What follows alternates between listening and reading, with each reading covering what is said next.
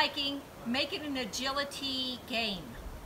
Work on your balance, have a little fun.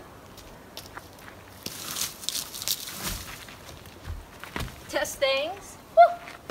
There's no failure in this type of work because it's not work, it's play.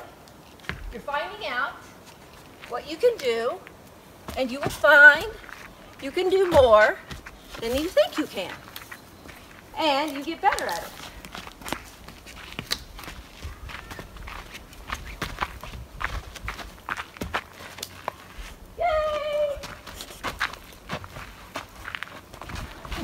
Go to McCallmethod.com for more good stuff.